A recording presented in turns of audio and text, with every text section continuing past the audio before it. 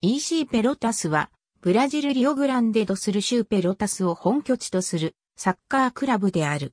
カンピオナートブラジレーロセリエ B とカンピオナートブラジレーロセリエ C に数回参戦し、1930年にはカンピオナートがウッショに優勝した。女子チームは2008年にコパドブラジルフェミニーノに参戦した。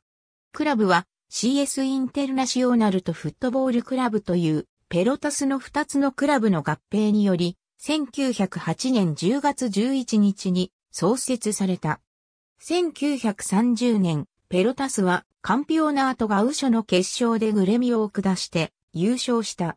1983年、ペロタスはカンピオナートがウショ2部に優勝した。1988年、ペロタスはカンピオナートブラジレーロセリエ B に初めて参戦したが、第1ステージで敗退した。1989年、クラブは再びセリエ B に参戦し、また、第1ステージで敗退した。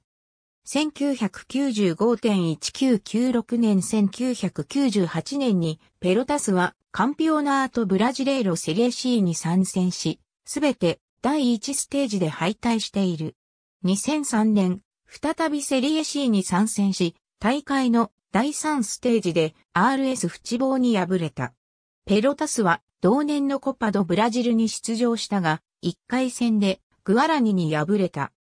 2008年、コパ FGF の決勝でセラミカを下して初優勝し、それによって同年のレコパスイコールブラジレーラと翌年のカンピオナートブラジレーロセリエ D の参加資格を獲得した。レコパスイコールブラジレーラでは準決勝でアトレチコ、ソロカーバに2から0で敗れた。ペロタスのライバルはブラジル人ペロタスとファローピーリャである。前者のダービーは、ブラッペウ後者のダービーは、ファルペウとして知られている。クラブのホームゲームは通常、ペロタスにあるエスタジオボカドロボで行う。最大収容人数は約2万4千人。